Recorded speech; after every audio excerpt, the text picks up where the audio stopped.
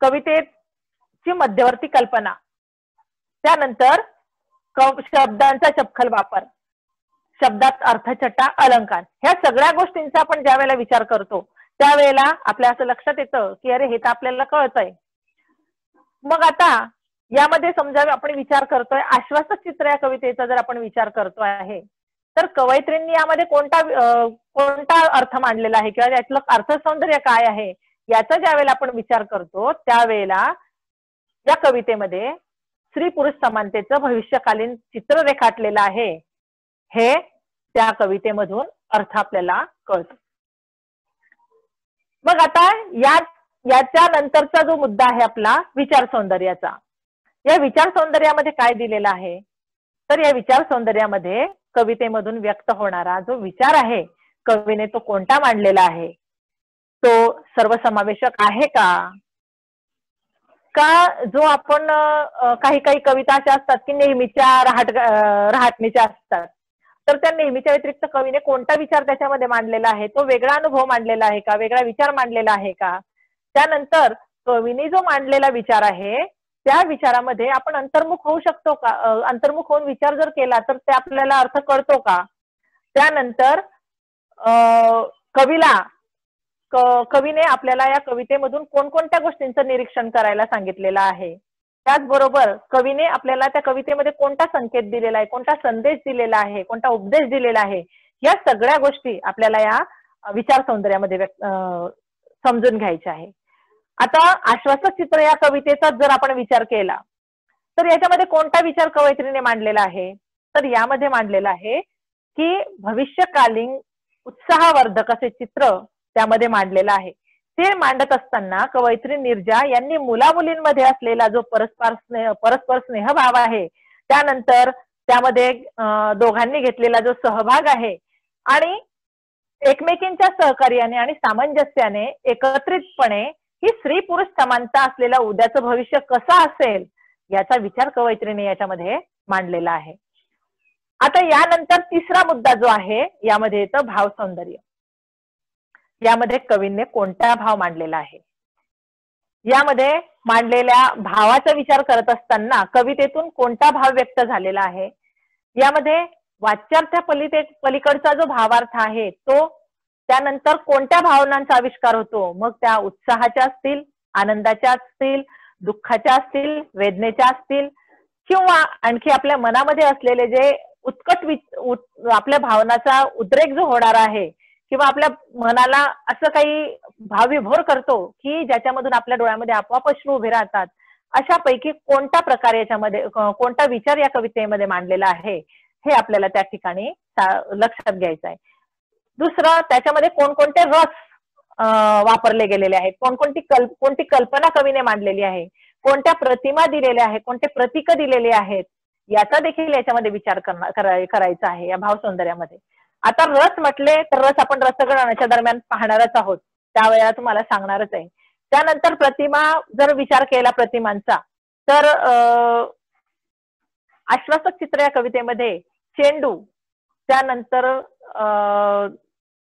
Gas त्यानंतर भातुकले हे जे विचार आहे हे आपल्या लक्षामध्ये म्हणजे हे ह्या प्रतिमा त्या ठिकाणी मांडलेल्या आहे प्रतिका मांडलेली आहेत. आता या ठिकाणी या काव्य सौंदर्याच्या बाबतीमध्ये आणखी असं लक्षात या भाव सौंदर्याच्या याच्यामध्ये एक उदाहरण आपण पाहूया की कवी भारा तांबे जे आहेत यांनी एक एका कवितेमध्ये मांडलेला विचार बघा की जन पळभर म्हणतील हाय हाय मी जाता राहील कार्य काय? माणूस मेल्यानंतर एखाद्याचं काही अडून राहत नाही. आणि त्याच्यामध्ये मृत्यूची जी कल्पना आहे मांडलेली कवींनी ती अतिशय भावस्पर्शी आहे. मनाला अगदी म्हणजे स्पर्शून जाते. आणि अशा प्रकारची कविता याच्या भाव सौंदर्य याच्यामध्ये मांडलेलं आहे. किंवा दुसरं उदाहरण जर आपण घेतलं आपल्या वस्तू कवितेतलं तर या वस्तू कवितेमध्ये कवयित्रींनी मांडलेलं आहे की निर्जीव वस्तू ज्या आहेत त्या निर्जीव वस्तूंबद्दलची संवेदना त्यांच्या मनामध्ये असलेली भावना जी आहे त्या भावनेचा विचार केलेला आहे. आता यामध्ये आणखी एक महत्वाची गोष्ट अशी येते की या काव्य सौंदर्यामध्ये आपल्याला ती कविता आवडली की नाही आवडली हा विचार मांडणंही त्या ठिकाणी तितकंच आवश्यक आहे. हा विचार मांडत असताना त्या आपण हा विचार करायला पाहिजे की कवीने त्याच्या दृष्टिकोनातून सकारात्मकता त्या कवितेमध्ये मांडलेली आहे आणि हा सकारात्मक विचार आपण सहकारण त्या ठिकाणी स्पष्ट करायचा आहे. यावरून असं लक्षात येतं की काव्य सौंदर्यामध्ये आपण कोणकोणते कोणकोणत्या गोष्टी लक्षात घेतल्या पाहिजे? तर पहिला आहे त्याच्यामध्ये की कवितेचा विषय कोणता आहे? दुसरा भाग त्याच्यामध्ये असा आहे की कवीने त्यामध्ये कोणता आशय मांडलेला आहे? कवितेने कवीने कोणता विचार मांडलेला आहे? कवितेमध्ये मूल्य कोणतं मिळालेला दिलेला आहे? त्यानंतर कवितेतून कवीने कोणता संदेश दिलेला आहे? आणि कवीच्या कोणकोणत्या भावभावनांचा विचार या ठिकाणी करण्यात आलेला आहे? त्यानंतर कवीने कोणता भाव भावार्थ आणि वाच्यार्थ यांचा समन्वय या ठिकाणी साधलेला आहे? कोणकोणत्या मूल्यांचा या ठिकाणी विचार केलेला आहे? या सगळ्या गोष्टींचा विचार आपण काव्य सौंदर्यामध्ये करतोय. आता काव्य सौंदर्याच्या बाबतीत एखादं हा बोला. हा एक वेळात आपलं बंद होईल परत आपण लॉग इन करायचंय याच्यावर सगळ्यांनीच. ओके.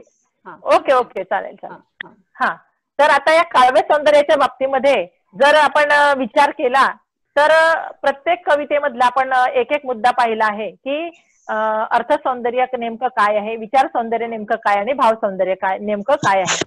तर हे सगळ्यांचा विचार आपण आपल्याला कळतं. बघा आता तुम्ही विचार करत असाल की अरे हे तर आम्हाला माहिती आहे. मग आम्ही आता यापुढे नक्कीच हे मांडणार आहे. म्हणजे हे झालं तुमचं काव्य सौंदर्य. आता यानंतर आपण रसग्रहणाच्या मुद्द्याकडे वळणार आहोत. तर रसग्रहण म्हणजे काय?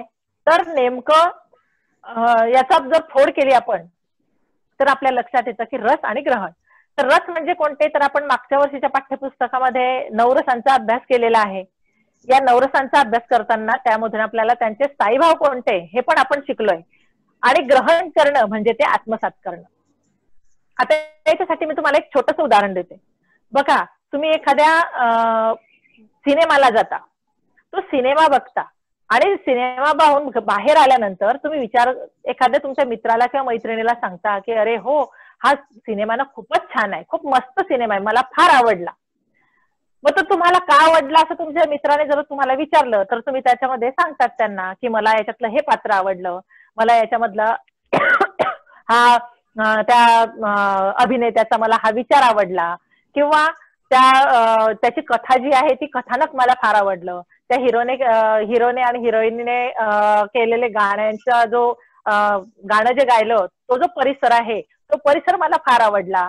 किंवा अजून त्याच्यामध्ये तुम्हाला आणखी तुम्ही बऱ्यापैकी म्हणजे खूप भरभरून बोलता त्याच्याबद्दल. मग हे भरभरून बोलणं म्हणजे काय? तर त्या चित्रपटाचं तुम्ही केलेलं किंवा त्या सिनेमाचं तुम्ही केलेलं रसग्रहण. असंच कवितेचं रसग्रहण आपल्याला समजून घ्यायचं आहे. आणि या कवितेचं रसग्रहण करत असताना आपण दोन मुद्द्यांचा याच्यामध्ये विचार करायचा आहे की रस म्हणजे काय? तर काव्याचा आपण घेतलेला आनंद. आता आनंद घेणं आस्वाद घेणं म्हणजे रस घेणे. यामध्ये वेगवेगळ्या प्रकारच्या रस आहेत. आता आपली जी पंचेंद्रिय आहे या पंचेंद्रियाचा जर आपण विचार करतो त्यावेळेला त्या पंचेंद्रियांमध्ये आपण कडू गोड आंबट तिखट खारट कटू मधुर आम्ल तिखट क्षार कषाय किंवा तुरट अशा या चवीचा आपण आस्वाद घेत असतो.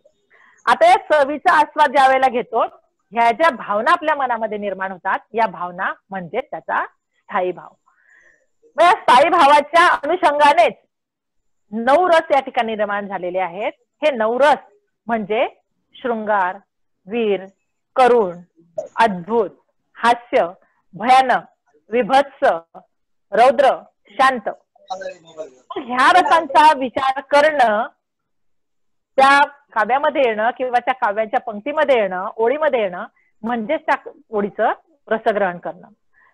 आता या रसग्रहणात रसग्रहण म्हणजे आणखी तुमच्या अजून सोपं सांगते की सौंदर्यपूर्ण वस्तू किंवा कलाकृती किंवा काव्यकृतीचा आस्वाद किंवा आनंद घेणं. जसं एखादी कविता ज्या वेळेला तुम्ही वाचता त्यावेळेला तुमचं मन अगदी अनामिक आनंदानं भरून येतं. एखादी कविता वाचताना तुमच्या डोळ्यातून घळघळ अश्रू वाहतात किंवा एखादी कविता वाचताना किंवा ऐकताना तुमच्या मनामध्ये दुःखाची भावना निर्माण होते. किंवा एखादी कविता ऐकताना मन भावविभोर होतं. किंवा एखादी कविता त्यामध्ये जी घटना दिलेली असते किंवा जो प्रसंग दिलेला असतो तो प्रसंग आला की डोळ्यासमोर अगदी ती प्रतिमा आपल्या जशीची तशी उभी राहते. ह्या सगळ्या गोष्टींचा विचार ज्या वेळेला आपण करतो त्यावेळेला ती कविता त्या म्हणजे रसग्रहणात्मक दृष्टीने आपण त्याचा विचार करतो. जसं आता बालकवींची कविता आहे पहा. श्रावण मासी हर्ष मानसी हिरवळ दाटे चोहीकडे. क्षणात येते सरसर शिरवे क्षणात फिरून ऊन पडे. ही कविता ज्या वेळेला आपल्यासमोर येते त्यावेळेला आपण काय करतो?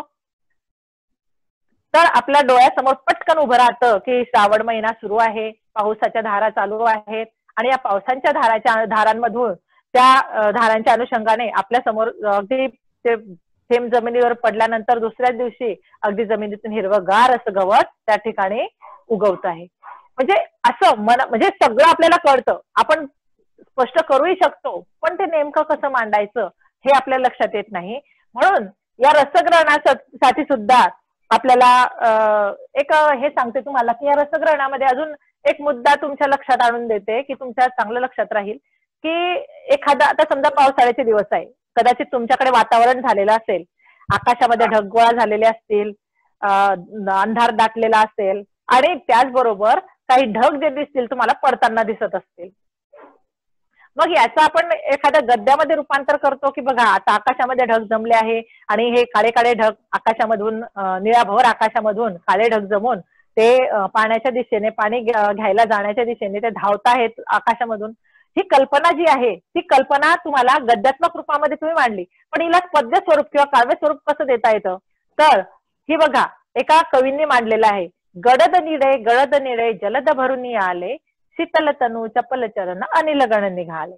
बघा आपली गद्यात्मक रचना आणि ही काव्यात्मक रचना या दोघांमध्ये गद्यात्मक रचना आपल्या मनाला भावणार नाही पण ही काव्यात्मक रचना आपल्या मनाला पटकन स्पर्श करून जाते आणि पटकन आपल्या डोळ्यापुढे निळभोर आकाश त्यात असणारे काडे काडेशार ढग आणि त्यामध्ये ते जलद म्हणजे काय ढग हे ढग काय करतायत पाणी घेण्यासाठी धावतायत आपल्याला ढग पडताना दिसतायत ह्या अशा गोष्टी ज्या आहेत आपल्या डोळ्यासमोर उभ्या राहतात. आणि त्याचा आपण आनंद घेत असतो म्हणजेच ते एक प्रकारचं रसग्रहण. आता या ठिकाणी आणखी आपण रसग्रहणासाठी दोन गोष्टी ज्या ज्या आहेत त्या महत्त्वाच्या आहेत त्या लक्षात घ्या. त्या दोन गोष्टी म्हणजे आहे एक कवितेची रचना आणि दुसरं जे आहे ते कवितेचं भावसौंदर्य.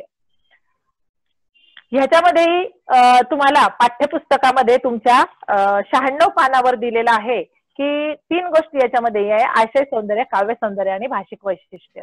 तर हे सुद्धा पहिल्या याच्याप्रमाणेच काव्य सौंदर्यामध्ये ज्या तीन कृती आहेत ज्या जशा या जशा परस्परांना पूरक आहेत आणि याचे जसे आपण तीन परिच्छेद करायचे आहे तसे रसग्रहणासाठी सुद्धा या तीन परिच्छेद या तीन परिच्छेदांमध्ये मांडायचं आहे.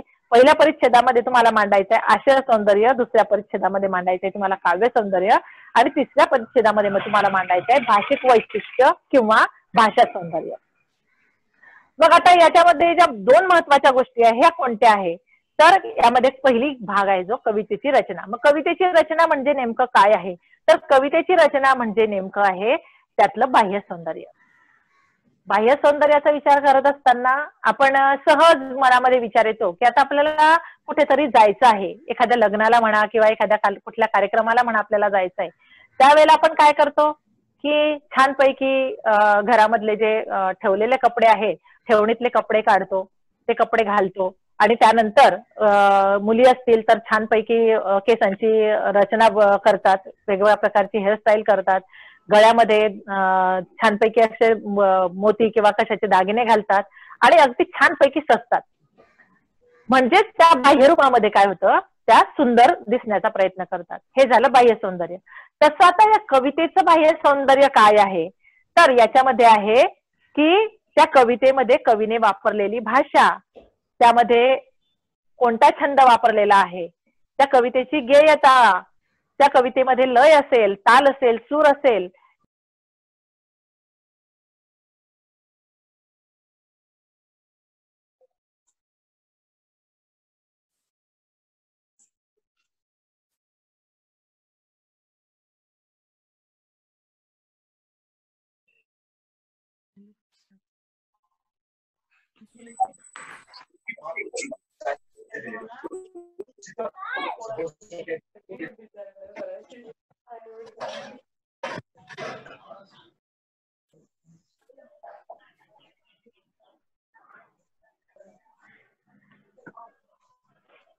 झालेत मॅडम सगळे?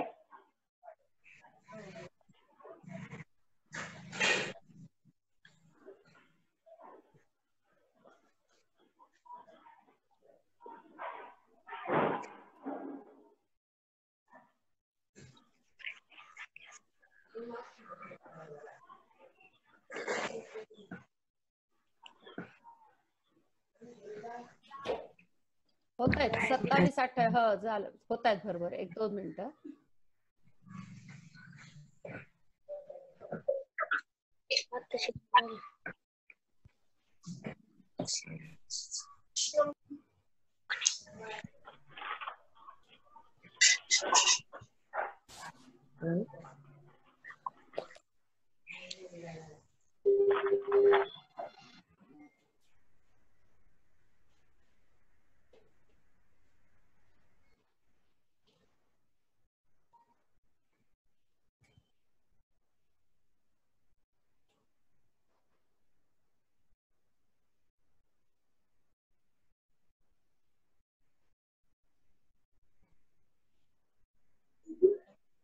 हा वंदना मॅडम तुमचा माईक सुरू करा तिकडून. आलेत का? करायचं सुरू? एक पंचेचाळीस झालेत. एक पन्नास होईपर्यंत वाट पाहू आणि मग सुरू करू आपण. बरं, बरं. एकोणसत्तर सत्तर आहेत आता हा हा हा. सांगा मला म्हणजे मग मी हो करते. हो. होय होय होय होय हं. हे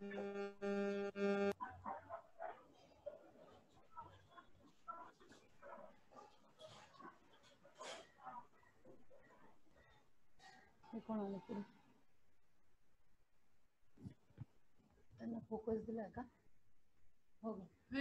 त्यांना फोकस दिला मॅडमला दे ना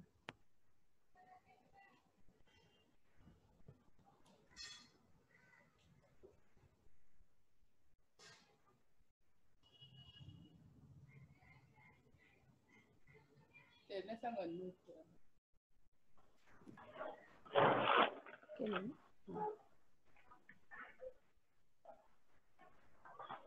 ऍडमिट ऑल झाले ना?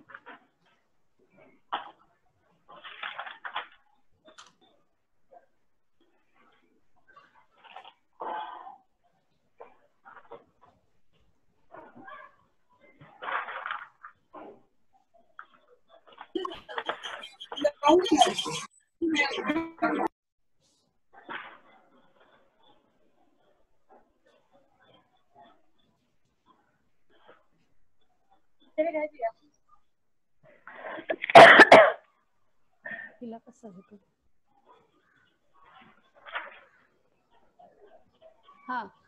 वंदना मॅडम झाले बावन्न? सुरू केलं बरं बरं बरं. चालतंय. हो हो. आपण कवितेच्या रचनेचा विचार करत होतो. त्या कवितेमध्ये असणारी त्या कवितेची गेयता लय आणि मांडणी याचा विचार बाह्य सौंदर्यामध्ये केलेला असतो. आता जसं बघा आपली कविता आहे. त्या कवितेचा विचार ज्यावेळेला आपण करतो त्यावेळेला तिला लय आणि ताल असल्यामुळे ती लक्षात राहते. ती कविता बघा आकाशी झेप घेरे पाखरा सोडी सोन्याचा पिंजरा सोडी सोन्याचा पिंजरा. बघा ही कविता जर आपण ऐकली तर ती कानालाही गोड वाटते आणि ती आपल्याला गुणगुणाविषयी वाटते. का? तर तिला लय आहे ताल आहे सूर आहे आणि ती गेय आहे गाण्यासारखी आहे. म्हणून ती चटकात चटकन लक्षात राहते. आणि फक्त अशीच लक्षात राहत नाही गुणगुणाविषयी वाटतच नाही तर तिचा बारकाईने जर विचार केला तर ती अर्थदृष्ट्या देखील आपल्या लक्षात राहील. ही झाली कवितेची रचना. आता दुसरा भाग याच्यामध्ये आहे कवितेचं भाव सौंदर्य जसं कवितेच्या रचनेला बाह्य सौंदर्य म्हणतात तसं कवितेच्या भाव सौंदर्याला अंतर सौंदर्य म्हणतात. मग आता हे अंतर सौंदर्याचा विचार करत असताना अंतर सौंदर्य म्हणजे काय आहे? बघा याचं एक छोटस उदाहरण देते मी तुम्हाला की हिंदी मधलं आहे दिखने में अच्छा चलने में ढब्बू. बाहेरून खूप सुंदर आहे. दिसायला रंग रूप वगैरे सगळं छान आहे. पण मन जर पाहिलं तर कलुषित आहे. मनामध्ये द्वेष भरलेला आहे मनामध्ये वाईट विचार आहे कुसंगतीचा विचार नेहमी मनामध्ये येतो. ह्या सगळ्या गोष्टी ज्या आहेत या सगळ्या गोष्टी येतात आंतरिक सौंदर्यामध्ये. मग आता कवितेमध्ये असं आंतरिक सौंदर्य किंवा भाव सौंदर्य काय आहे? तर कवीने त्याच्यामध्ये मांडलेला ज्या विचार कोणता आहे कवीने त्यामध्ये कोणत्या भावनांच भावना मांडलेल्या आहेत त्यानंतर कवितेमधून कवीला त्यांच्या मांडलेल्या भावनांमधून कोणता बोध होतो आहे? त्यांना काय कळत आहे नेमकं की या कवितेमध्ये नेमकं कवीने काय कवीला काय सांगायचं आहे? हा बोध त्यांना होणं. त्यानंतर या कवितेमध्ये कोणते अलंकार आणि वृत्त वापरलेले आहेत कोणते अलंकार या अलंकारांच्या संदर्भात आपण विचार केला वृत्त कोणतं वापरलेलं आहे? याच्या संदर्भात तुम्ही आपली उत्तम लक्षणी कविता त्यानंतर भरतवाक्य ही जर कविता याचा विचार केला तर आपल्या दोन्ही कविता ज्या आहेत त्या पृथ्वीवृत्तामध्ये आहेत. मग अशा प्रकारे त्या वृत्तांचा देखील याच्यामध्ये विचार करावा लागतो. आणि कवितेची सुरुवात करताना जी सुरुवात केलेली आहे कवींनी तीच सुरुवात शेवट मध्य कसा आहे मध्यानंतर शेवट त्या कवितेचा कसा आहे याचा विचार करावा लागतो. जसं उत्तम लक्षण कविता जर आपण घेतली तर उत्तम लक्षणमध्ये सुरुवातीला काय दिलेलं आहे की काय करू नये नाही का? सॉरी काय करावं? आणि त्यानंतर मधल्या दुसऱ्या ओवीपासून काय दिलेलं आहे की काय करू नये? आणि पुन्हा शेवटच्या ओळीपर्यंत आपण ज्या वेळेला येतो त्यावेळेला आपल्या असं लक्षात येतं की कवींनी पुन्हा आपल्याला काय करू काय करावे याचा संदर्भ त्याच्यामध्ये दिलेला आहे. म्हणजे सुरुवात त्यांनी काय करावी याच्यापासून केलेला आहे मध्ये काय करू नये हे दिलेलं आहे आणि पुन्हा शेवटी त्यांनी असं केल्याचा तुम्हाला काय फायदा होणार आहे? हे का करावं? हे तुम्हाला त्या ठिकाणी स्पष्ट केलेलं आहे. म्हणजे या सगळ्यांचा विचार जो आहे तो येतो आंतरिक सौंदर्यामध्ये. मग याचा विचार आपण काय करणार आहोत? की ज्या वेळेला रसग्रहण करणार आहोत त्यामध्ये करणार आहेत आता रसग्रहणासाठी काही मुद्दे जे आहेत ते मुद्दे महत्त्वाचे आहेत. ते मुद्दे बघा कोणते महत्त्वाचे आहे? की तुम्ही रसग्रहणाच्या त्या कृतीशी एकरूप झालं पाहिजे. शब्दांचा नेमकेपणा तुम्हाला ओळखता आला पाहिजे. त्यानंतर तुम्हाला व्यक्त होण्यासाठी त्यामध्ये ज्या चित्रकृती दिलेल्या आहे कल्पनेमधल्या त्या कृती कोणत्या आहे ते लक्षात घेतलं पाहिजे. वास्तव वास्तवता जी आहे त्या वास्तविकतेकडे बघण्याची तुमची दृष्टी विकसित झाली पाहिजे तुम्ही विकसित केली पाहिजे. स्वप्न आणि वास्तव याच्यामध्ये जे अंतर दिलेलं आहे हे अंतर तुम्हाला ओळखता आलं पाहिजे. त्याच्यानंतर त्याची चाल वगैरे ते ओळखता आली पाहिजे. त्याच्यामध्ये प्रतिमा कोणत्या दिलेल्या आहेत हे लक्षात आलं पाहिजे. ती कविता वाचताना त्यामध्ये असणाऱ्या प्रतिमा तुमच्या मनचक्षू समोर उभ्या राहिल्या पाहिजेत. जसं उदाहरणार्थ झरा म्हटलं तर तुमच्या डोळ्यासमोर खळखळ वाढणारा झरा उभा राहिला पाहिजे. पाणी म्हटलं तर तुमच्या आता शहरी भागामधली मुलं आहात तुम्ही तुमच्या घरामध्ये फक्त नळांना पाणी किंवा तुम्ही गेला असाल समुद्रावर तर समुद्रातलं पाणी. पण पटकन आपल्या नजरेसमोर येतं विहिरीतलं पाणी नळाचं पाणी त्यानंतर झऱ्याचं पाणी नदीचं पाणी आणि समुद्राचं पाणी. म्हणजे असा ह्या प्रतिमा आपल्या डोळ्यासमोर पटकन उभ्या राहिल्या पाहिजे. त्यानंतर ज्या आपल्याला डोळ्यांनी आपल्या डोळ्यासमोर उभ्या राहतात त्या दृक प्रतिमा म्हणतात. आणि श्राव्य प्रतिमा म्हणजे खळखळ आवाज येणारा. जर आपण म्हटलं खळखळ आवाज येतोय झरा खळखळ वाहतोय तर मग झरा म्हटलं की पटकन झऱ्याची प्रतिमा आपल्या डोळ्यासमोर येते तशी खळखळ वाढणारी ही प्रतिमा देखील आपल्या डोळ्यासमोर येते आणि ही श्राव्य प्रतिमा. म्हणजे दृक प्रतिमा म्हणजे झरा डोळ्यासमोर येणं आणि श्राव्य प्रतिमा म्हणजे तो खळखळ आवाज आपल्याला मनामध्ये ऐकायला येणं. यानंतर स्पर्श प्रतिमा याच्यामध्ये आहे. त्या म्हणजे एखादी मखमली असं वाटलं आपल्याला तर ती मखमली म्हटली की आपल्या डोळ्यासमोर पटकन आपल्या घरामध्ये असलेलं मखमलचा एखादा कापड लक्षात येतो. आता जसं कविता आहे आपली बालकवींची कविता बघा. हिरवे हिरवे गार गालीचे हरित तृणांच्या वखमालीचे. या कविता डोळ्यासमोर ही कविता गुणगुणताना पटकन डोळ्यासमोर गालीचा येतो. आपल्या डोळ्यासमोर कोणता गालिचा येतो? तर आपल्या घरामध्ये असलेला गालिचा पण कवीला काय मांडायचं आहे याच्यामध्ये? तर कवींना मांडायचं आहे की निसर्गाने जो हिरवागार गालीच्या गवताच्या रूपाने साकारलेला आहे पृथ्वीवर त्या गालीचा त्यांच्या डोळ्यासमोर येत आहे. हरित हरित तृण म्हणजे हिरवगार गवत. आणि ते कसं आहे तर मखमली वाटतं. म्हणजे त्या गवतावरून तुम्ही चाललात तर त्याचा अनुभव तुम्हाला सहजपणे मिळतो. अशा प्रकारच्या या प्रतिमा आणि प्रतिका आपल्या डोळ्यासमोर आली पाहिजे. आता प्रतीक म्हटलं म्हणजे समजा एखाद्या ठिकाणी एखाद्या कवितेमध्ये कुंभ असेल जसं किंवा आपल्या याच्यामधला चेंडू आश्वासक चित्र कवितेमधला चेंडू म्हटलं की पटकन आपल्या डोळ्यासमोर चेंडूचं चित्र उभं राहतं. अशा प्रकारचं हे जे आहे प्रतिमा आणि प्रतीक आपल्या डोळ्यासमोर ही उभी राहिली म्हणजे आपण त्या कवितेमधला अर्ध कवितेतली किंवा रसग्रणातली अर्धी लढाई आपण जिंकलेली आहे. यानंतर आता आपण याच्यातल्या प्रत्येक याचा विचार करूया. यामध्ये पहिलं घेतलंय आपण पहिलं आहे दिलेलं पा पान नंबर शहाण्णव आशय सौंदर्य. या आशय सौंदर्यामध्ये काय आहे की कवीने कमीत कमी शब्दामध्ये जास्तीत जास्त आशय मांडलेला आहे.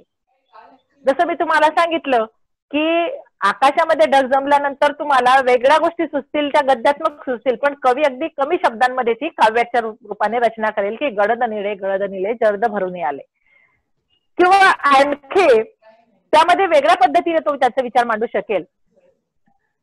जसं एखादा विचार कवीने मांडलेला आहे कल्पना कवीने केलेली आहे ती कविता कल्पना कोणती केलेली आहे हे आपल्याला ओळखता येणं त्यामध्ये आवश्यक आहे महत्वाचं आहे. त्यानंतर कवितेमध्ये कोणकोणते शब्द अचूक आणि चपखलपणे त्यामध्ये वापरले गेलेले आहेत याचा या आशय सौंदर्यामध्ये विचार केलेला आहे.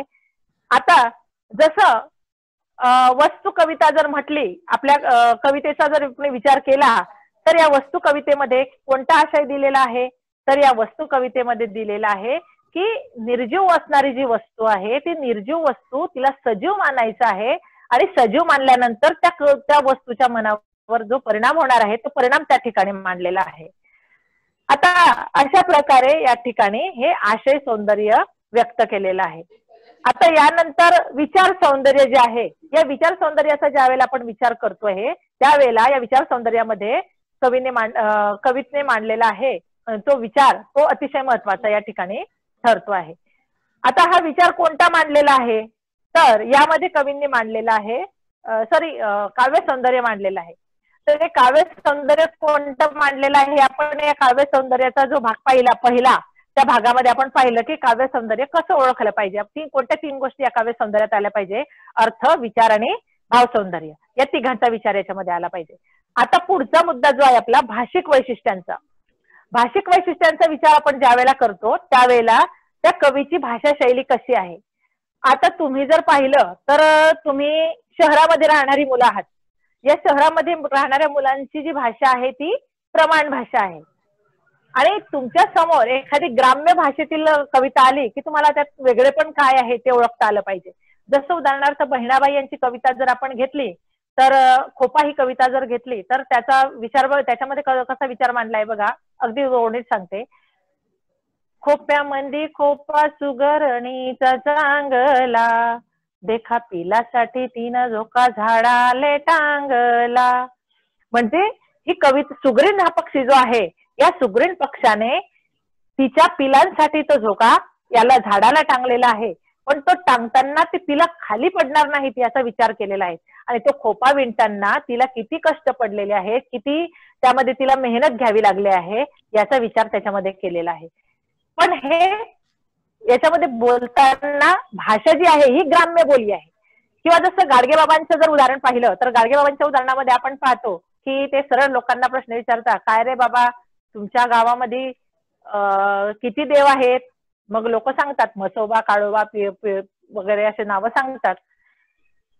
मग आणखी त्यांना ते अशा प्रश्न उत्तरांच्या रूपाने त्यांच्या बोलीभाषेतल्या प्रश्न उत्तरांच्या रूपाने ते लोकांना प्रबोधन करतात. लोकांना सांगत असतात. मग ही झाली ग्राम्य बोली. आणि तुमची भाषा जी आहे ती कोणती आली आहे? प्रमाण भाषा आलेली आहे. त्यानंतर संवादात्मक भाषा. दोन जणांचा संवाद त्याच्यामध्ये आहे. की कशा पद्धतीने त्याच्यामध्ये तो विचार मांडलेला आहे याचा विचार या भाषिक वैशिष्ट्यांमध्ये केलेला असतो. जसं उत्तम लक्षणी कविता जर घेतली तर याच्यामध्ये माणसाने कसं वागावं हे अगदी साध्या सोप्या ओळीमध्ये निरूपण केलेलं आहे. अरे ही संस्कृत प्रचुर भाषा आहे. आणि या संस्कृत प्रचुर भाषेमध्ये जे जमणारे यमक आहे या यमकांच्या द्वारे संदेश देत ओबी छंदाला साजेशी अशी त्या ठिकाणी भाषा कवीने वापरलेली आहे.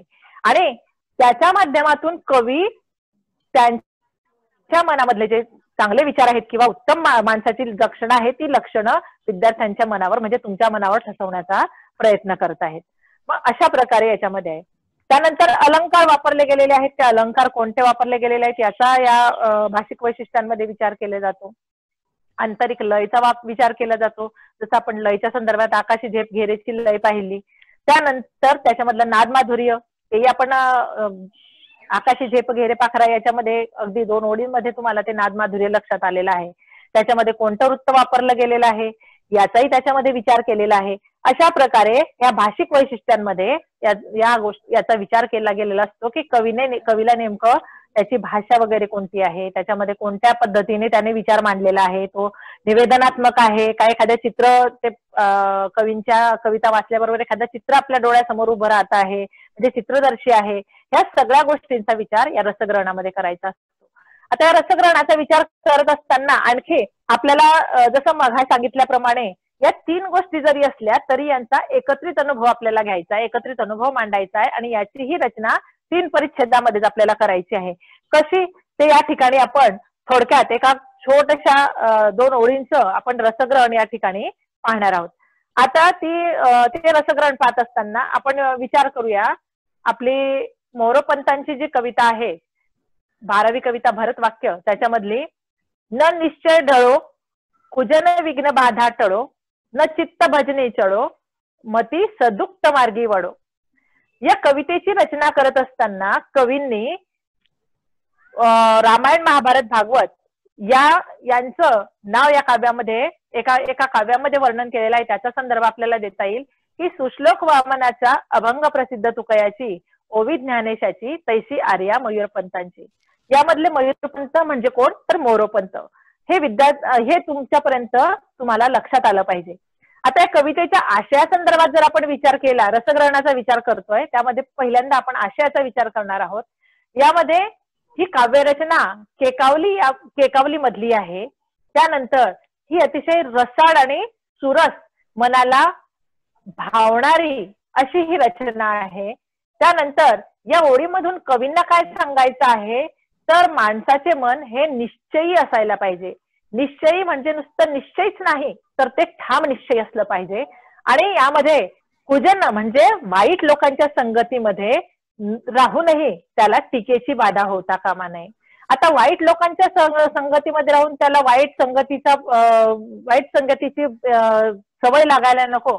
याचं एक छोटस तुम्हाला उदाहरण सांगते की तुम्ही शहरी भागातली मुलं असली किंवा आमची ग्रामीण भागातली मुलं असली तरी मित्रप्रेम हे अतिशय महत्वाचं त्या ठिकाणी मानलेलं आहे.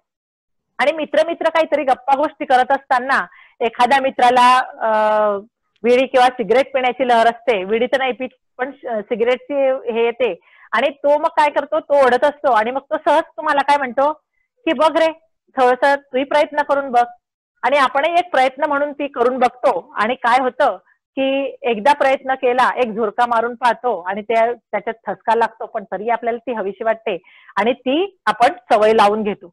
म्हणजेच काय आहे की आपण वाईट मित्राच्या संगतीमध्येही वाईट सवय लावून घेतली. मग अशा या वाईट लोकांच्या संगतीमधून आपल्याला त्याच्यामध्ये आपल्याला राहायचं नाहीये आणि त्याच्यामध्ये राहत राहू नाही कमळासारखं आपल्याला राहायचं आहे. आता कमळासारखं राहायचं म्हणजे कसं आहे? तर कमळ जे चिखलामध्ये उगवतं पण चिखलामध्ये उगवल्यानंतरही ते त्याच्या पाकड्यांवर किंवा पानांवर त्या चिखलाचा बिंदू सुद्धा राहू देत नाही. म्हणजे आपण वाईटांच्या संगतीमध्ये राहून चांगल्या चांगलं राहायचं आहे हे कवीने या ठिकाणी सांगितलेलं आहे. हा त्याचा आशय आहे. आता या ठिकाणी पुन्हा सदुक्त म्हटलं आहे. तर सदुक्त म्हणजे काय? तर चांगल्या मार्गाकडे. म्हणजे जसं मी तुम्हाला सांगितलं कमळाचं उदाहरण त्याप्रमाणे आपल्याला राहायचं आहे. हा झाला याच्यामध्ये आशय. आता याच्यामध्ये दोन गोष्टी लक्षात घेतल्या लक्षात घेतल्या पाहिजे तुम्ही की महत्वाचं की माझं मन मला ओळखतं पाहिजे. को हम? म्हणजे मी कोण आहे? हे आपल्याला ओळखता आलं पाहिजे.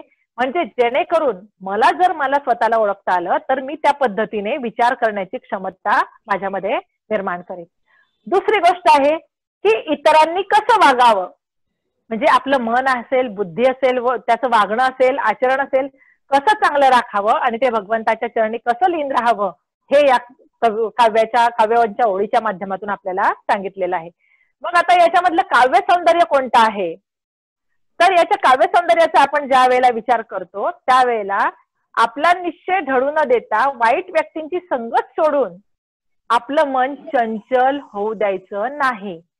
तर चांगल्या विचारांचं चांगल्या आचारांचं आपण स्वीकार करायचं आहे आणि त्या बुद्धीला आपण जागायचं आहे. स्वत्वा आपलं स्वतः त्यातून ओळखायचं आहे.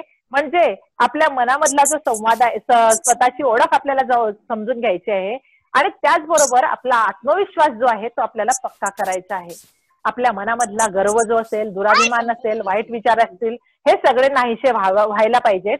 हा त्याच्यामध्ये मांडलेला हे मांडलेलं त्यांनी कवींनी त्यामध्ये काव्य सौंदर्य मांडलेलं आहे. आता याच्यामधलं भाषिक वैशिष्ट्य काय आहे? तर भाषिक वैशिष्ट्याचा विचार करत असताना ही कविता जी आहे भरत वाक्य ही संस्कृत प्रचूर आहे. आता संस्कृत प्रचूर भाषा म्हणजे कशी? तर याच्यामध्ये मती हा शब्द आलेला आहे बघा. तर मती म्हणजे काय? तर तुमची बुद्धी. त्यानंतर कुजन विघ्न बाधा म्हणजे काय? तर वाईट लोकांच्या संगतीमध्ये वाईट लोकांच्या संगतीत राहू नये त्यांच्या सानिध्यात राहू नये हा त्याच्या ठिकाणी आलेला आहे. आता यामध्ये सामासिक रचना आहे. आणि पृथ्वी वृत्तामध्ये पृथ्वी या अक्षर गणवृत्तामध्ये हे वापरलेलं आहे. यामध्ये त्याची चाल जी आहे ती लयबद्ध आहे. यामध्ये यमक आणि अनुप्रास अशा दोन अलंकारांचा वापर कवींनी केलेला आहे. उदाहरणार्थ न चित्त भजनी चळो मती सदुक्त मार्गी वडो या ओळीमध्ये जर विचार या ओळीचा जर विचार केला तर याच्यामध्ये सतरा अक्षर आहेत आणि चार चरण आहेत. यामधला यती जो आहे तो आठव्या आणि नवव्या अक्षरांवर आहे. तर चळो वळो ढळो तळो या शब्दांच्या शेवटी ळ आल्यामुळे लय आणि ताल याला प्राप्त झालेला आहे. यामध्ये अक्षरांची वेगवेगळी विरुक्ती झालेली असल्यामुळे ही कविता अतिशय सुंदर आणि लय आपल्याला झालेली आहे. या कवितेमधून आपल्याला संदेश जो मिळतो आहे तोही आहे की याच्यामधून ध्वनी सूचकता साधलेली आहे. त्यानंतर आध्यात्मिक स्वरूपाची ही भाषा आहे. आणि मन आणि आपलं मन हे पवित्र आणि चांगलं राहण्यासाठी परमेश्वराची भक्ती करण्याचा मार्ग यामधून आपल्याला सांगितलेला आहे. भाव परमेश्वर प्राप्तीसाठी जो भाव निर्माण होतोय तो भाव या ठिकाणी व्यक्त झालेला आहे. अशा प्रकारची ही कविता जी आहे यामधून तुमच्या मनामध्ये कोणकोणत्या क्षमता रुजवता येतील याचाही विचार यामध्ये महत्त्वाचा आहे. तर तुम्हाला फक्त ही कविताच नाही तर या कवितेबद्दल विविध ज्या साहित्य कृती आहेत त्याचा तुम्हाला विचार करता आला पाहिजे. जसं एखादी कविता तुम्हाला याची आनंद त्याचा कसा असेल तर आकाशी झेप गेरे पाखरा ही कविता आपली एका चित्रपटातल्या गीताच्या स्वरूपात आहे. दुसरी कविता जी आहे आपली ती वस्तू कविता आहे. ही कविता मुक्त छंदातली आहे. अशा या कवितांचा आपल्याला आस्वाद घेता आला पाहिजे. अशा प्रकारे या कवितेचं जे रसग्रहण आहे ते रसग्रहण जर आपण केलं तर मला नाही वाटत की आपण जे रसग्रहणाचे चार गुण आहे हे आपण मिळवू शकणार नाहीत. मला असं वाटतं की हे चार गुण आणि काव्य सौंदर्याचे दोन गुण आपल्याला आता सहज मिळतील आणि सहज आपल्या मनामधले ज्या शंका असतील किंवा शंका आलेल्या असतील त्या आता नक्कीच नाहीशा झाल्या असतील आणि सहजतेने आपण या दोन मुद्दे दोन आणि हे चार असे सहा गुण अगदी सहजतेने मिळवाल. म्हणजे आकलन कृतीचे गुण तर तुम्ही सहज मिळवतात. पण मुख्य अडचण तुम्हाला येते काव्य सौंदर्य आणि रसग्रहणाच्या या सहा गुणांची. तर माझ्या दृष्टिकोनातून मी तुम्हाला जितकं समजवण्याचा प्रयत्न केलेला आहे जितकं म्हणजे मला जमेल त्या पद्धतीने मी तुम्हाला सांगण्याचा प्रयत्न केलेला आहे. आणि तो तुम्हाला नक्कीच समजलेला असेल असं अशी मला मी खात्री बाळगते. आणि तुमच्याकडून उपयोजन म्हणून मला अशी अपेक्षा असेल की तुम्ही या कविते प्रत्येक आपल्या ज्या कविता आहेत त्या कवितेमधल्या प्रत्येकाच्या दोन दोन ओळी घ्यायच्या. आणि त्या ओळी घेताना कसं करायचं की गाईड किंवा तुमच्याजवळ काय अपेक्षित वगैरे असेल किंवा कुठले पुस्तकं असतील त्याच्यामध्ये जे रेडीमेड दिलेलं असेल ते रेडीमेड न घेता भलेही त्याचं तुम्ही काय करा त्याचं सहाय्य घ्या. पण वेगवेगळ्या प्रकारच्या दोन ओळी तुम्ही त्यातून काढा प्रत्येक कवितेतल्या घ्या आणि त्याच्यावर तुम्ही रसग्रहण करून पहा त्याचं काव्य सौंदर्य ओळखून पहा. आणि तुम्हाला जम जमलं की नाही जमलं हे तुमच्या मॅडम ज्या आहेत काळकर मॅडम या काळकर मॅडमला दाखवा. म्हणजे मी जे तुम्हाला सांगितलेलं आहे ते तुम्हाला कितपत समजलं हे मॅडमलाही कळेल. आणि मॅडम मग माझ्यापर्यंत तो विचार पोहोचवतील. अशा पद्धतीने मॅडमने मला जी संधी दिली त्या संधीचं तुम्ही सोनं करा असं मला वाटतं. आणि एवढं मी तुमच्यापुढे मांडते विचार माझे. आणि माझ्या वाणीला विराम देते. जे योग्य असेल ते तुम्ही स्वीकारा. जे चांगले विचार असतील ते स्वीकारा. जे मुद्दे तुमच्या लक्षात आले असतील ते मुद्दे तुम्ही टिपून नक्कीच घेतले असतील. तर या सगळ्यांच्या माध्यमातून तुम्हाला आता कसं जमताय ते बघा. नाही जमत असेल तर पुन्हा तुम्ही तुमच्या मॅडमला विचारा किंवा मला जरी तुम्ही विचारलं तरी पुन्हा मी तुम्हाला सांगेन. तर अशा प्रकारे सगळ्यांनी तुमच्या मुख्याध्यापिका मॅडम आणि काळकर मॅडम यांनी संधी मला उपलब्ध करून दिली. याबद्दल मी त्यांचे आभार मानते. आणि या ठिकाणी माझ्या वाणीला विराम देते. जर कोणाला काही शंका असतील तर तुम्ही विचारू शकता मला. धन्यवाद मॅडम. हो खूप खूप धन्यवाद. आणि आभार नको आपण एकमेकांच्या मैत्रिणी आहोत. त्यामुळे आपण एकमेकांना सहकार्य करतच असतो नेहमी. तर फक्त मुलांच्या शंकांपूर्वी मी आपल्या इथे शक्ती सेवा संघाच्या मुख्याध्यापिका आहेत सुधा तिवारी मॅडम. यांचं मी आपल्या आत्ताच्या या मार्गदर्शनामध्ये स्वागत करते. आणि त्यांनी पण त्यांच्या शाळेची विद्यार्थी आपल्या या मार्गदर्शनाला जोडलेली आहेत. आणि त्यांनी त्यांच्या मुलांना ही संधी उपलब्ध करून दिली.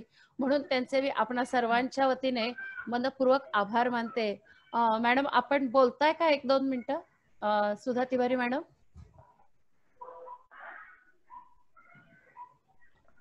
त्यांना काय वाटतं? माझ्या याच्याबद्दल ते मांडू द्या त्यांना. हो. मॅडम बोलताय आपण? हा हा हॅलो. हा हॅलो. हाँ हाँ गुड मॉर्निंग बोला मैडम. गुड मॉर्निंग बोला की. हाँ मैडम आपका मैंने पहले आज ही यही देखा क्योंकि मैं थोड़ा नेटिव पे गई थी एक एक्सपायर कर गए थे मेरे रिलेटिव अच्छा, तो आज मुझे अच्छा। सुषमा मैडम ने फ़ोन किया तो मैंने देखा तो आपने इतनी अच्छी तरह से एक्सप्लेन किया है ये सब पूरा जो भी था चैप्टर तो थैंक यू वेरी मच कम से कम ये बहुत हेल्पफुल होगा हमारे बच्चों के लिए.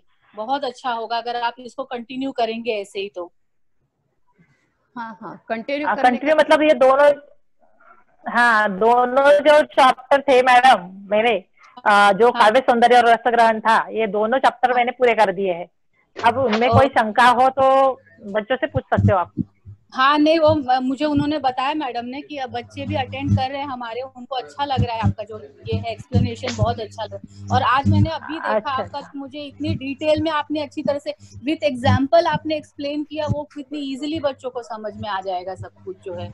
मैं वही सुन रही थी आपका तो मुझे बहुत अच्छा thank you madam thank you very much thank you thank you madam. धन्यवाद धन्यवाद मॅडम। आणि सुषमा मॅडम मॅडमचे आधी आभार माना मॅडम। हा। मानेकर मॅडम. सुषमा देसाई. काय जाणवलं तुम्हाला सांगा की. हो हो मानेकर मॅडम पण. नमस्ते बिरोड मॅडम. नमस्कार बोला की. हा मॅडम खूप खूप छान झालेलं आहे. आमच्या सगळ्या शंका आमच्या मुलांच्या सगळ्या शंका दूर झालेल्या आहेत. हा जो एक क्लिष्ट भाग असतो मुलांना कवितेचा. मार्क जास्त असतात पण मुलांना कसं लिहायचं हे कळत नसतं. आणि तर तुम्ही अगदी सोप्या पद्धतीने समजावून सांगितलं उदाहरणं दिलीत. आणि त्यामुळे मुलांना नक्कीच समजलं असेल अशी मी आशा व्यक्त करते. तुम्ही तुमच्या वेळ तुम्ही तुमचा वेळ अमूल्य वेळ खर्च करून आमच्या मुंबईच्या मुलांना सहकार्य करायला आलात. त्यांना गायडन्स केलं खूप खूप धन्यवाद मॅडम आम्हाला जेव्हा जरूर पडेल तेव्हा नक्कीच तुमच्याशी संपर्क साधू. काळकर मॅडमना पण धन्यवाद देते. सुडे मॅडमना पण धन्यवाद देते. हो. भोळे मॅडम. मिनल भोळे मॅडम यांना पण धन्यवाद देते. हो हो. माझ्या माझ्या सख्या कोणी असतील तर त्यांच्या काय प्रतिक्रिया आहेत त्या पण ऐकायला आवडतील मला. आपल्या तेजश्री आहे ना? अरे त्याआधी हा त्याआधी विद्यार्थ्यांना काही शंका असतील तर ते शंका विचारू देत मॅडम. हा हा. आधी विचारा आधी काही शंका आहेत का? मुलांना प्लीज विचारा. मॅडम आहेत मॅडम एवढ्या निसर्गरम्य वातावरणामध्ये छान बसले आहेत. आणि आपल्याला इतक्या सुंदर रीतीने खूप छान विवेचन आणि खूप त्यांनी उदाहरणं चांगली दिली आपल्याला हे करता करता. त्यामुळे रसग्रहण हा प्रकार निश्चितच आपल्याला लिहायला सोपा जाईल. आज थोड्या काही कवितांचं तरी रसग्रहण बघा उत्तम लक्षणं वगैरे आपल्या झाल्यात त्या. हा प्लीज कोणी मुलं आहेत? नागपूर वरून आपल्या दहिसरची मुलं. प्लीज कारण तुम्ही काही व्यक्त झाल्याशिवाय आम्हालाही कळणार नाही की तुम्हाला किती समजले काय झाले ते. बरोबर आहे ना. त्याच्यासाठी विद्यार्थी मी. साठी सुरू झालेलं आहे. एक दहाच मिनिटं राहिलेले आहेत आपल्याला. तर पटपट तुम्ही शंका असेल तर विचारा. तुमच्यासाठी सगळं सुरू केलं हे आपण. हॅलो. हा बोला. हॅलो. हा बोला. हा मी भटकर मॅडम बोलते. हा. अच्छा बोला मॅडम. सर्वात आधी सर्वांना नमस्कार. हा. हा हा. हा नमस्कार. हॅलो? हा हॅलो बोला ना मॅडम. हा बोला ना मॅडम ऐकायला येतोय बोला की. हा, आवाज येतोय मॅडम? होय होय हो हो येतोय येतोय बस बोला. फक्त माझे एक बोला. मत मांडणार की हा बोला आज ना. वंदना मॅडम यांचं मार्गदर्शन कर- मिळण्याची संधी मला मिळाली. सुंदर असं मार्गदर्शन मॅडमांनी केलेलं दिलेलं आहे. म्हणजे जणू काही आता तो विद्यार्थ्यांचाच पाठ झालेला आहे आणि त्यांना पुन्हा काहीतरी सांगण्याची गरज आहे असं मला वाटत नाही. जे विद्यार्थ्यांनी ऐकलं असेल त्यांच्यासाठी. म्हणजे अतिशय सुंदर स्पष्टीकरण मॅडमांनी दिलेलं आहे. बस. बरोबर धन्यवाद. धन्यवाद मॅडम. धन्यवाद. मॅडम.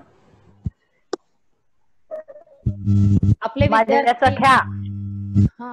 तेजश्री मॅडम. विद्यार्थी विद्यार्थी हा मला असं वाटतंय की विद्यार्थ्यांना व्यक्त व्हायला थोडस अडचण येते का काही? किंवा काय बोलण्यासाठी जरा हे होत असेल. नवीन नाही नवीन म्हणून काही वाटत असेल त्यांना तर तसं काही वाटू देऊ नका त्यांना म्हणा. जसं तुमच्याशी बोलतात तसं माझ्याशी बोलू शकतात ते. हो. समीक्षा पवार आपली निधी निधी परवा शंका होती ना तुला? हॅलो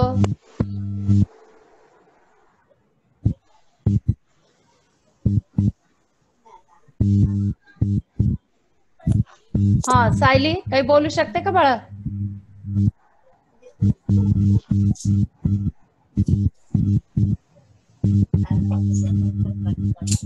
काहीतरी अडचण येते मुलांना रश्मी? प्रॉब्लेम असू शकतो.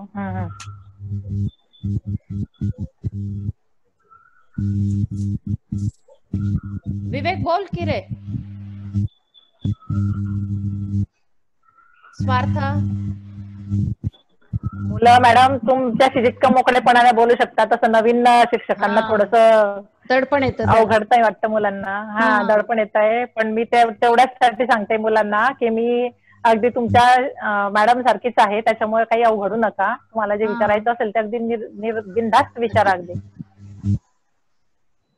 नाही मी समजलंय. अच्छा. बर. पूर्वा? चालेल आपल्या पूर्वा पण हा. विचारते ना. हा विचारा. पूर्वा विचारते का बाळा? हॅलो. हा हॅलो. हा बोला. Hello Vandana madam. हा. हा बोला बोला बोला बोला. हॅलो हा बोला ना. ऐकायला येते बोला ना तुमचा आवाज हॅलो हा बोला बोला. वंदना मॅडम तुम्ही अतिशय छान विवेचन केलं. तुम्ही त्यामध्ये जी वेगवेगळी उदाहरणं दिली त्यामुळे सर्व मुद्दे व्यवस्थित समजले. मला नाही वाटत कोणाला यामध्ये अडचण असेल. खूप खूप धन्यवाद. हो थँक्यू धन्यवाद मॅडम. हा. गावकर मॅडम? हा मॅडम. हा बोला ना. हा बोला मॅडम. छान मार्गदर्शन झालं. हो. हॅलो. हा हॅलो हा. ऐकायला येते हा. बोला मॅडम ऐकायला येत आहे येतंय ऐकायला. हॅलो. हा हॅलो बोला बोला. खूप छान मार्गदर्शन झालं तुमचं. आणि मलाही स्वतःला काहीतरी त्यात शिकता आलं. काय मुद्दे नेमके सांगायचे मुलांना ते कळलं. व्यवस्थितपणे अगदी. आणि पुन्हा आम्हाला तुमचा असा सहवास लाभू देत. अशी तुम्हाला विनंती करते. नक्की मॅडम? नक्की नक्कीच मॅडम. नक्कीच नक्कीच. हो हो नक्की. धन्यवाद मॅडम. बरं आपल्या मुलांना काही शंका? काणसुडे मॅडमचा फोन आलेला होता की त्यांना पुढे त्यांचं विज्ञानाचं लेक्चर घ्यायचंय. तर शंका असेल तर एक दोन मिनिटं मी देते. पटकन विचारा. म्हणजे मग आपल्याला हे जरा थांबवता येईल. मग.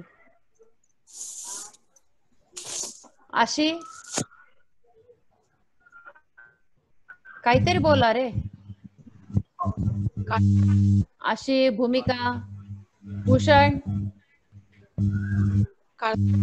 हा.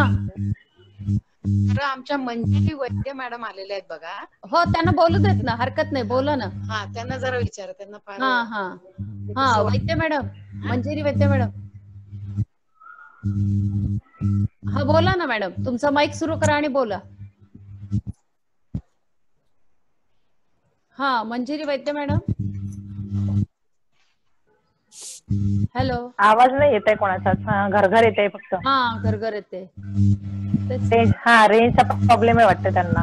असेल ना आता ढगाळ वातावरण झालं इथे पण. हा तुमच्या तुमच्यासोबत ज्या इतर शाळांच्या शिक्षिका आहेत ना मॅडम त्यांच्यापैकी विचारा कुणाला काही असेल तर. म्हणजे हो. मग नाही तर मग तुमचाही क्लास सुरू होतोय आपल्याला थांबायला बरं. हो. ह्या गावकर मॅडम होत्या मंजिरी वैद्य मॅडम होत्या आता एक मॅडम बोललेल्या होत्या अशा एक हा, हा, हा. सुषमा हो, देसाई हो. मॅडम आहेत हा. आमची मुलं काही बोलतच नाहीत गप्पच झाली आहेत काय.